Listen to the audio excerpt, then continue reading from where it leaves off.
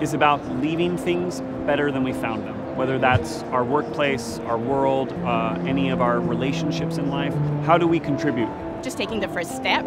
Um, you know, when we think about impact, don't be overwhelmed by the need to do something large and big and significant. All about just making small, simple changes, um, and then you'll create a really positive impact. Our responsibility is to tell great stories because great stories are engaging, they're inspiring, and they will result in impact and change for everyone involved. Impact means to me making sure that people have the food that they need to sustain themselves, whether it's a food allergic reason or it's a cultural reason, making sure that they have a seat at the table so they can also participate in that event fully. And when you feed somebody, sustain somebody with the food and beverage, it's making a huge impact on them personally and on their experience at the event.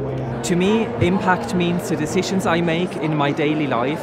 With my small purchases, I can vote for small businesses in the local community, but it also means how I spend the time in, in my work environment and how in my role I can have the biggest positive impact. Being kind, being empathetic, and being compassionate. So that's what I want to be remembered for, and also the impact that I've made with just not one person, but with so many people around me.